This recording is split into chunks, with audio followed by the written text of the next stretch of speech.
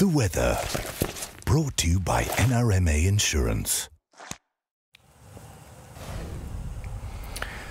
Heart disease is Australia's biggest killer, but tonight help is on the way. A number of life-saving medicines are about to be added to the PBS, taking the cost of some scripts from thousands of dollars to just 42.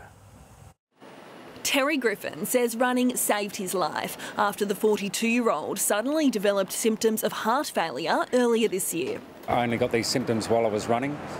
Um, so about six minutes into every run, I'd get a tightness in my chest. Terry saw his GP and underwent a double bypass just two weeks later. If I hadn't listened to those symptoms, I, I wouldn't be here now. There's no two ways about that. Terry's cardiologist recommended he take Verquvo, an expensive medicine that treats the symptoms of chronic heart failure by relaxing blood vessels around the artery. We've had to tighten our purse strings absolutely. To give more people the option of having this medication, it can only be good. And that's about to happen. From December 1, Verquvo will be listed on the Pharmaceutical Benefits Scheme for the first time, and the price of Repatha will drop, a medicine to treat high cholesterol. People with heart disease, we really need to get that level down as low as possible. Now, we've known for a long time that one of the key factors that causes heart attacks and strokes is having a high cholesterol level. Verquvo currently costs around $2,000 a year, while Repatha will set you back almost $4,000. The PBS listings mean a single script will soon cost $42.50. Concessions will pay just $6.80.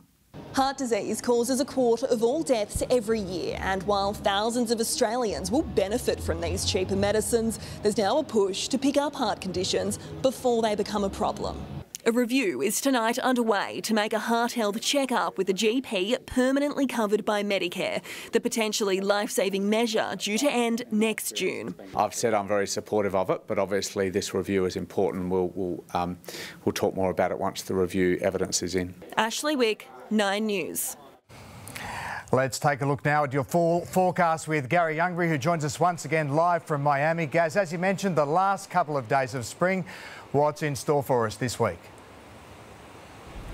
Oh, a bit of everything this week, Jono. Uh, hot tomorrow to start the working week. Throw in some showers, even some thunderstorms. But then the middle and end of the week, we're not only looking at cooler temperatures, but a wet start to summer. In fact, we'll see some heavy falls as we get later into Wednesday, Thursday, and even Friday. We'll get to that in your seven-day outlook. But the storms fired up this afternoon across southeast Queensland. Let's go straight to the radar. Show you that activity sort of mid-afternoon. Heaviest falls around the northern suburbs. 77 millimetres at North Pine Dam. 48 millimetres at the tail end of those storms just bringing a few showers right now on the Sunshine Coast. Let's take a look at temperatures over southeast Queensland. The low was 14 in the Gold Coast hinterland.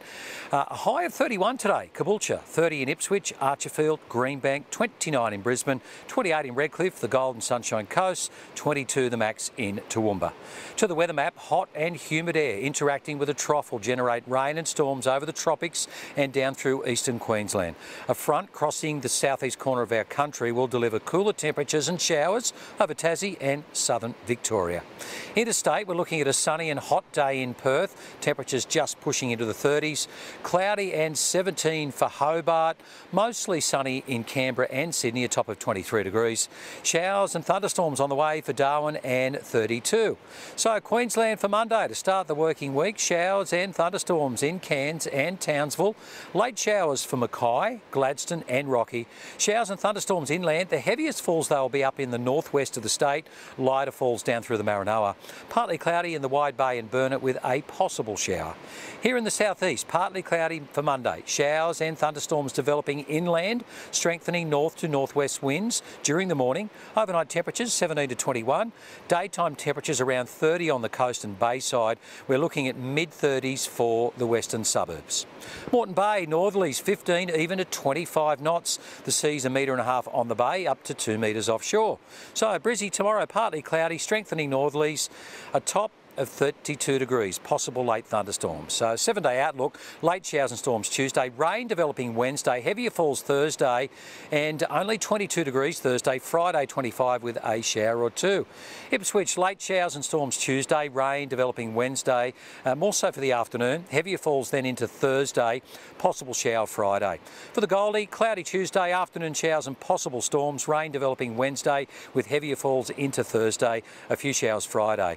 And the Sunshine Coast, showers Tuesday, possible storms, rain for Wednesday and into Thursday. Now, over those two days, we could see anywhere between 50 and 100 millimetres, but then just a shower for Friday should clear a little bit for the weekend. So some heavy falls heading our way towards the end of the week, Jono. Gary, good on you. Thank you. Now, before we go, here's Amelia Adams with a quick look at what's coming up on tonight's edition of 60 Minutes. Thanks, Jono. Tonight.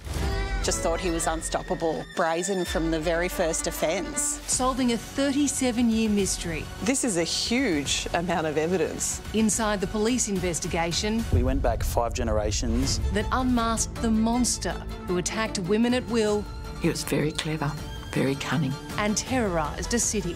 It's perverted. Filthy, disgusting. This is his legacy. He's just a rapist. That's tonight after Lego Masters. Back to you, Jono. Amelia, thank you. And that is 9 News Queensland this Sunday. Thanks for your company. I'm Jonathan Uptin from all of us here. Good night.